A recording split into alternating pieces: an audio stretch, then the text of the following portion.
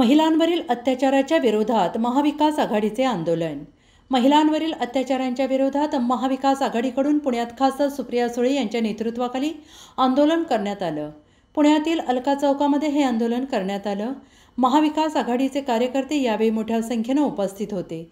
महाराष्ट्रात आपल्या लेकींवर रोज अत्याचार होत असताना सत्ताधारी मात्र याकडे केवळ राजकारणाच्या दृष्टीने बघत आहेत. ज्या गृह विभागाकडे आपल्या रक्षणाची जबाबदारी असते मात्र सरकारकडून पुण्यात सामूहिक अत्याचार प्रकरणात कोणताही निर्णय घेतला जात नाही.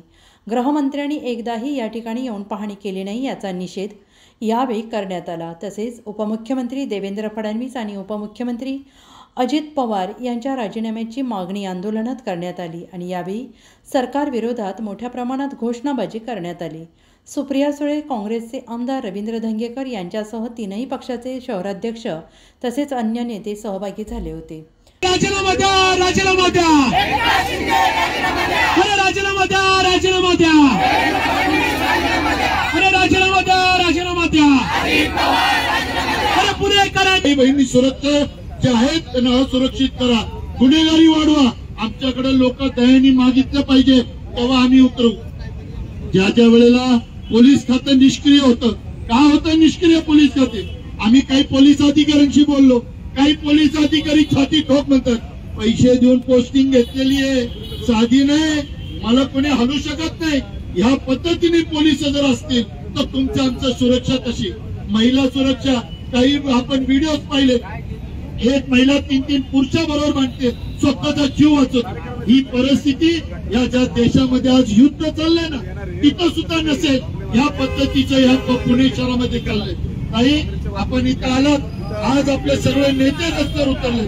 पण मला वाटतं या साध्या पी एस आय पी बोलण्यापेक्षा आता वेळ आली आहे. या महानगरपालिका असेल पोलीस आयुक्त असेल ह्यांना घेराव घालण्याची वेळ आलेली आहे. जोपर्यंत आपण ह्यांना घेराव घालत नाही तोपर्यंत वर दबाव निर्माण होणार नाही. कारण वरचे मुख्यमंत्री आणि दोन उपमुख्यमंत्री फक्त आणि फक्त बघून आंधे ऐकून भैऱ्यासारखी भूमिका घेतात.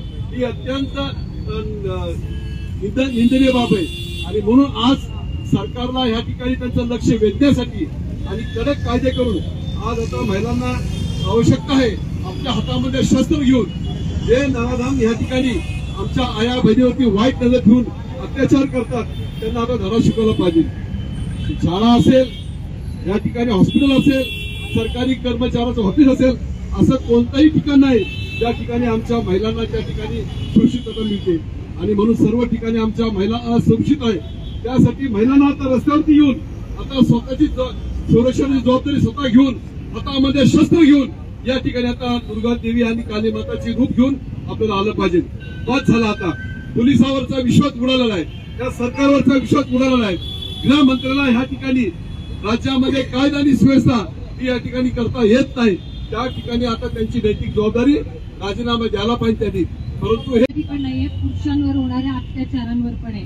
हे बघा आज नागपूरमध्ये जसं पुणे दुर्दैव आहे मला हे बोलावं लागतंय आज पण पुणे जसं क्राईम कॅपिटल झालंय तसं हिंमत बघा पोलिसांवर हल्ले होत आहेत पोलिसांवर.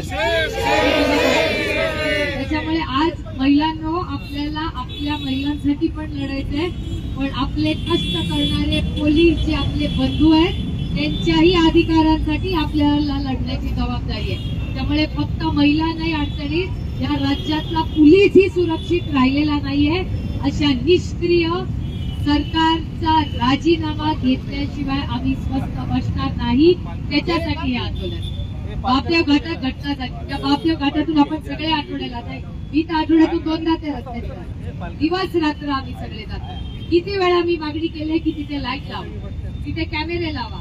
किती दिवस झाले या गोष्टीला? का नाही का नराधमांना पकडले आपण? आणि हे सरकार एकदा एन्काउंटर करत. एन्काउंटर करताना काय बॅनरबाजी करतात? तर बदलापूर. आणि या राज्याच्या गृहमंत्र्यांनी हातात बंदूक घेऊन फोटो लावले. मला त्यांना सांगायचंय अहो तुम्ही गृहमंत्री आहात तुम्ही मिर्झापूरचे हिरो नाही आहात. ही टीव्ही सिरियल हे वास्तव आहे. या राज्यातल्या लेकीवर सामूहिक bureau report S Marathi Pune.